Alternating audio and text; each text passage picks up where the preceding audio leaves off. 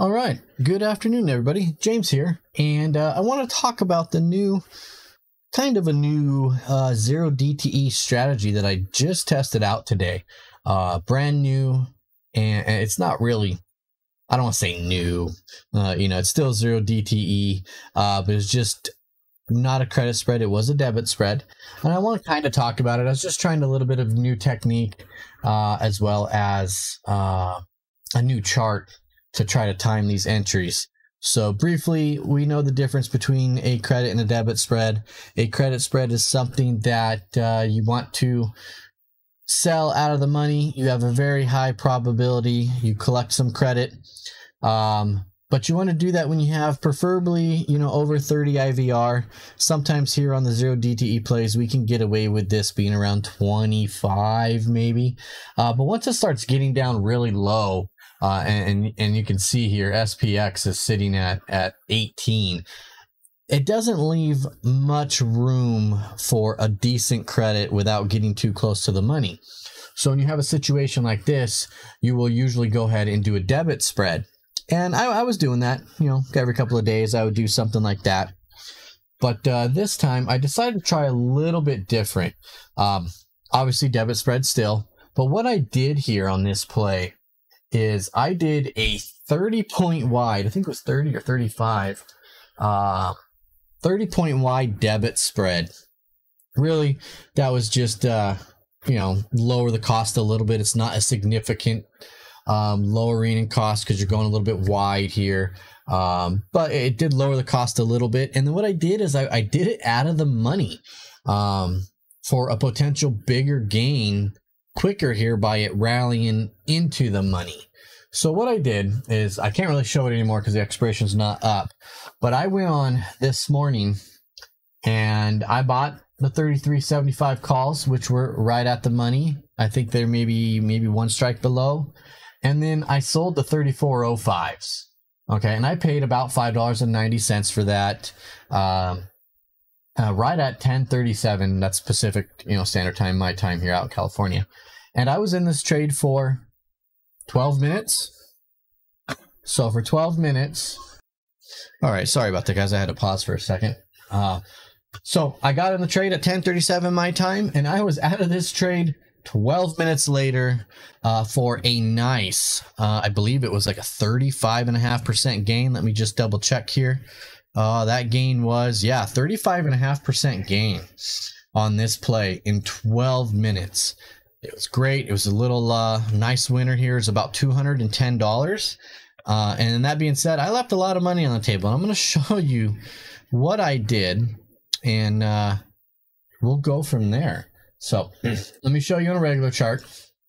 Here's the SPX play, and we've been we're bullish all day, right? So I started watching it when I saw we were getting a pullback here, and it uh, it broke right through VWAP on SPY.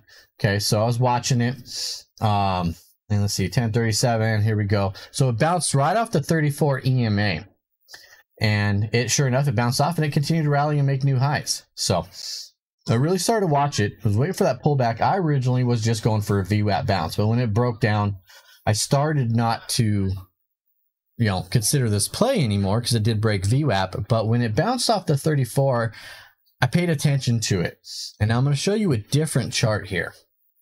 Now this chart, this is off the futures. This is uh, the the S&P futures forward slash ES, and this is a tick chart. This is a 512 tick chart, and this is a 1600 tick chart. So I started watching it. You know, here's the dip, right? Uh, that that I was just talking about over here.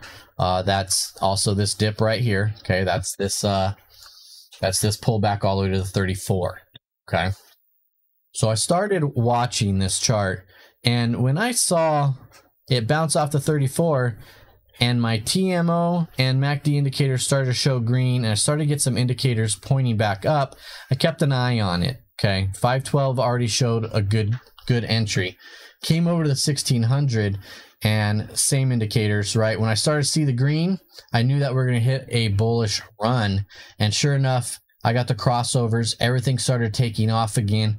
So I was a little delayed in the entry, hence uh, the 1037 entry. But that's what I picked up. and I just played that out, and uh, it ran nice. As you can see, we ran all the way up, and we actually continued to make make highs. Now I started watching it, and we started to get a little bit of a pullback up here. Uh, let's see, 1049. Where where's that at? We started to see it you know, started seeing some red candles and it was just really consolidating. And because it was a new strategy, I got out. I was out of this play at 1049. So as it started to run back up, I set an order in at $8, which was 35, 35% profit there. Um, and it worked like a charm, you guys. And I really, really, really wish I was staying true to the chart. This 1600 absolutely had no reason for me to get out. Uh, 1049. Let me bring that up over here. 1049 is like right here. Complete strength. Should not have gotten out, but you know, like I said, it was a new strategy. Uh, just testing these indicators out, and as you could see, I actually probably could have held out a lot longer. This would have been my exit down here. Uh, when I checked, uh, this was trading right around ten dollars, almost eleven dollars. Uh, so as you can see, I left about two to three hundred dollars on the table with this strategy but it works. So uh, I'm going to start doing this a little bit more as the IV stays down around 18. And uh, if it's not a fluke and I can continue to replicate these results, um, anytime we have lower IV, I'm going to start alerting these trades as well uh, as, as the credit spreads. Okay, so that's it, guys. Stay tuned give this video a like. Uh, I'll be making some more as I test it out. We're going to give Friday another go and uh, we'll see how it happens, you know, see what happens out of it. So take care, you guys. Have a great evening and I will see you all tomorrow.